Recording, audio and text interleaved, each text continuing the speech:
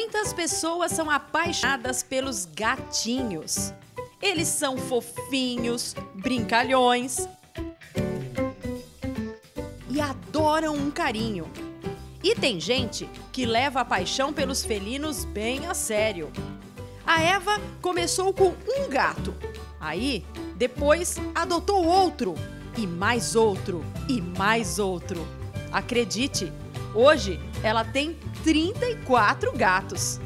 Quando eu vim morar aqui em Rio Preto, eu fui morar num apartamento lá na Cidade Nova e eu tinha uma, uma, uma cocker, uma cadelinha cocker. E ela vivia muito sozinha. E ela, eu ia trabalhar, ela ficava gritando dentro de casa. E eu arrumei um gatinho para fazer companhia para ela e foi aí que começou a criação. De um gatinho veio dois, veio três. Ela buscava os gatinhos para mim.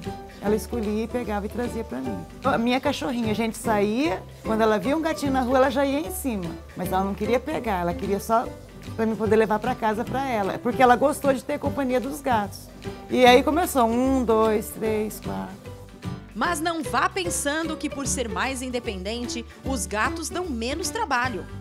Um dos gatinhos da Eva precisa fazer acupuntura, como parte do tratamento de uma doença grave. Ele tem pólipos no ouvido. É um câncer benigno. Só que a cirurgia dele é muito cara.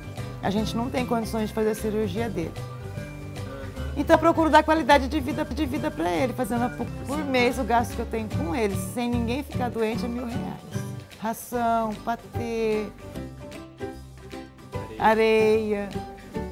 É, tipo assim, o Cosme, que é esse gatinho que tem o pólipos, ele tem medicação para tomar pro resto da vida, tipo o remedinho do ouvido, então tudo isso incluído, é mil reais por mês.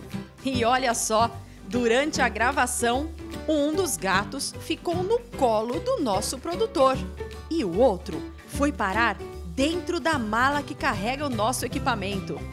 É muito amor. Impossível não gostar de um bichinho desses.